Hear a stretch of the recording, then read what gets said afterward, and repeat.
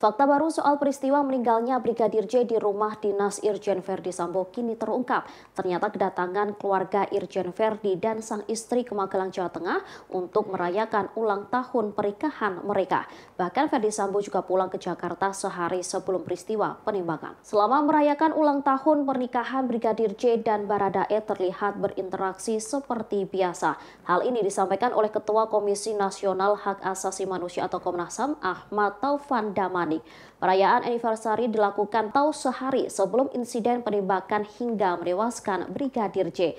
Damarik pun mengungkap rangkaian peristiwa yang diikuti oleh Irjen Verdi Sambo dan istri serta Brigadir J dan Baradae. Dari foto-foto peristiwa di Magelang terungkap bahwa Brigadir J dan Baradae terlihat baik-baik saja. Sesampainya di Jakarta, semua rombongan juga masih dalam keadaan baik.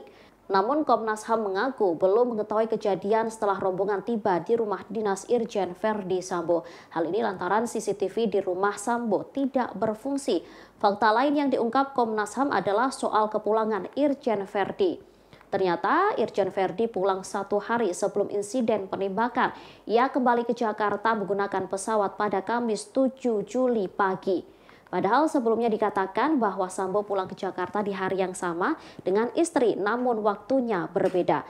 Sementara soal kerusakan CCTV, pihak kepolisian terus melakukan penyelidikan. Kapolri Jenderal Listio Sigit Prabowo menyebut pihaknya telah mendapat informasi terkait pengambilan CCTV.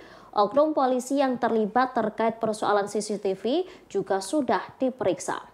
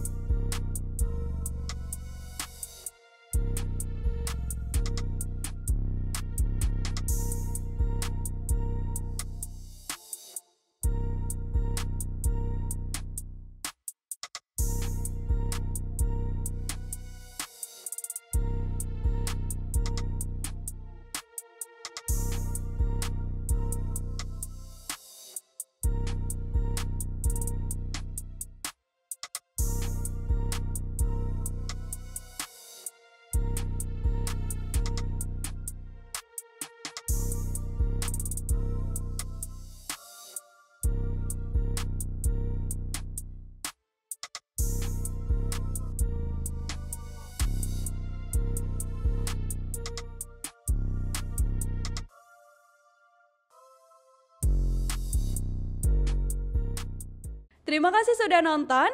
Jangan lupa like, subscribe, dan share ya.